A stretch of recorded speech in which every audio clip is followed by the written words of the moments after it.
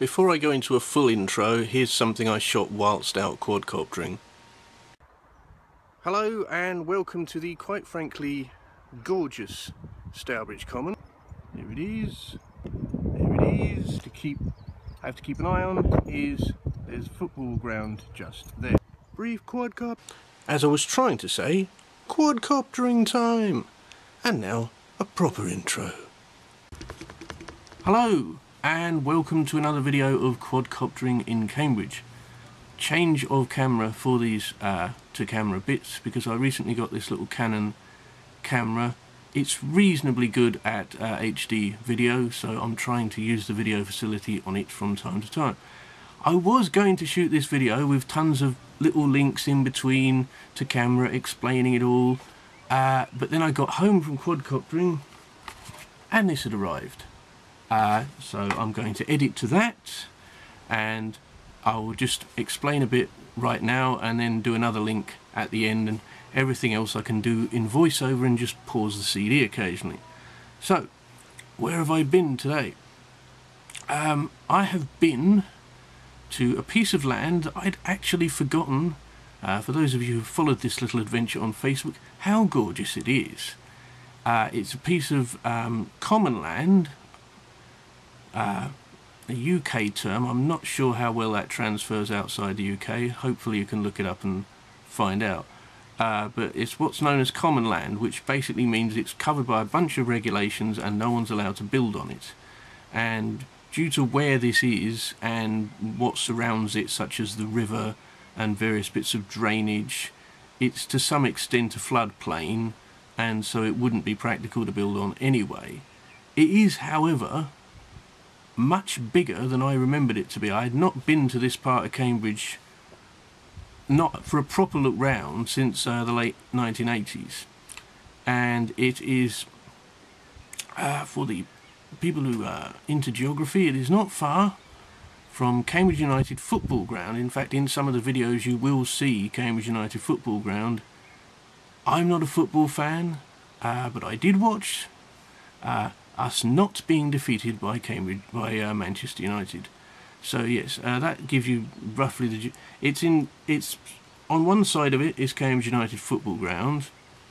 Once you get to the other side of it, there's a main road, and you're a short distance for the uh, Centre for Computing History, which is a lovely new, relatively new museum that opened in Cambridge over the past about five years, and only about two years ago did it actually move to Cambridge itself. So yeah, I started off, I'll give you a quick run, run through and then we'll go into the footage. I started off on uh, this piece of land near Cambridge United football ground. So you'll see some cows. As this being a common, uh, farmers are allowed to let their cows loose on it to eat the grass for nothing. Uh, then there's a sort of mid-section, um, which back in the late 80s was used partly by Cambridge United as a sort of training ground and that bit's not perfect for quadcopter flying. Then there's the final section of this piece of land when you've got uh, beyond the railway which is amazing and I'd forgotten how ridiculously useful it is for quadcopter flying because it's a huge piece of what can only be called meadowland and there's very few trees. Trees only border it. A main road borders it, but it is quite large, and it is essentially asking to be used for quadcopter flying. Unfortunately, was not able to get it up for any length of time today. Unfortunately, the quadcopter that is, uh, because we've had gusts of about 24 mile an hour of wind. Uh, thankfully, when I did get to this far side where it's this lovely meadowland, uh, the the wind had seemed to settle down for a bit. So about the last thing I shot uh, is a, a, good minute long. So hopefully uh, that will be um, very good. And um, if I get a day over the next month or two where it's weather this bright but with much less wind, I'm definitely uh, going to go out there and uh, shoot some more.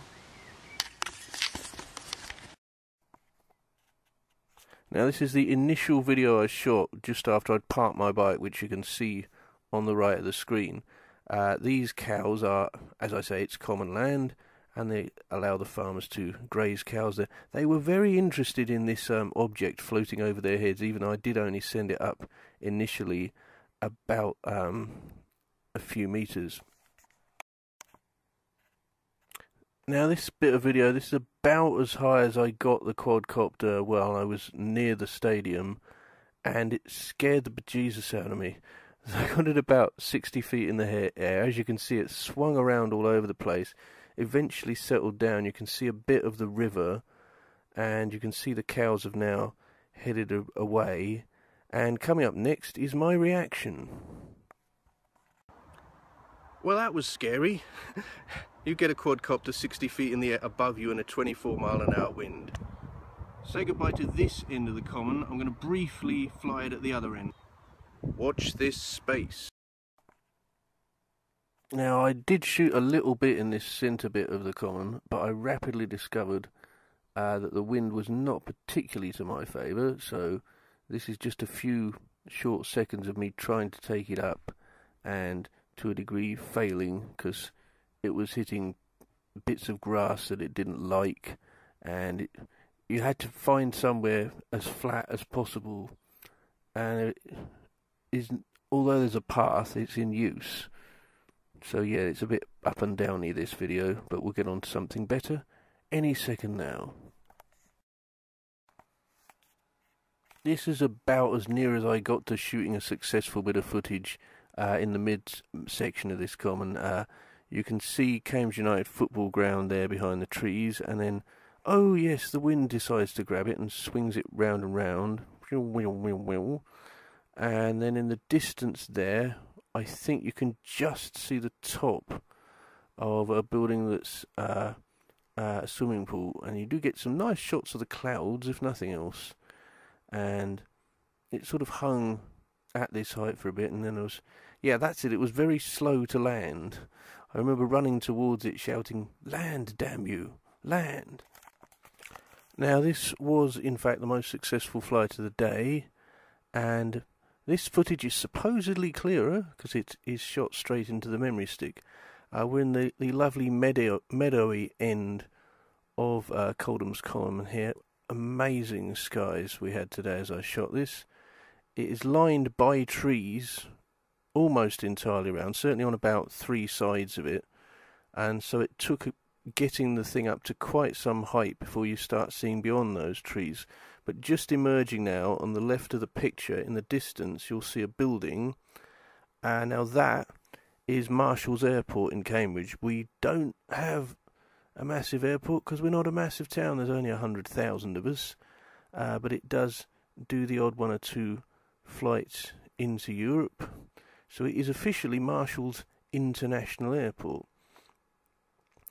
Uh, when I was looking at this whilst I was flying it on the iPad, I kept thinking, pity the camera's, camera's not angled better than this.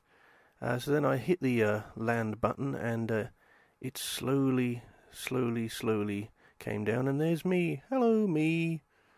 And here we are. Slightly scary journey home, uh, but worth filming part of it. And uh, as soon as I did get home, I shot this. Uh, why the sunglasses all of a sudden?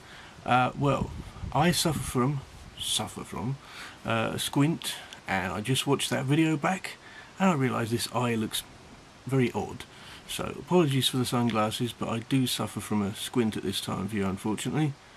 I may get the doctors to look at it eventually, uh, and hopefully it will be uh, fixable. But um, another point you may be thinking while you're watching all this is why this camera? Because the audio quality on it is not as good as if I use my proper camcorder. Well, uh, I, as you may have seen from the other videos, I have had uh, file conflict clash between uh, the files generated by the quadcopter and those generated by the camera to do the links.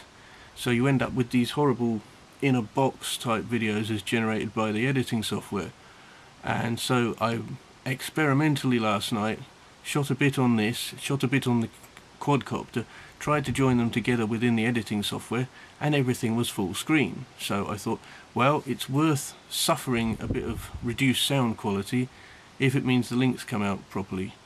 Uh, but yeah, as I said, fingers crossed for uh, less um, wind, less blustery weather uh, uh throughout June and uh, July, um, and I will get the quadcopter much higher, and we will get a much much better view from there because uh, particularly the the Cambridge United end, sort of the Cambridge United end of that piece of land, you can point the thing towards quite an urban part of Cambridge.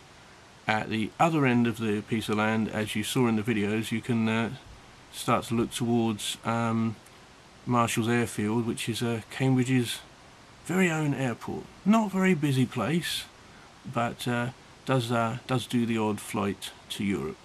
So, goodbye.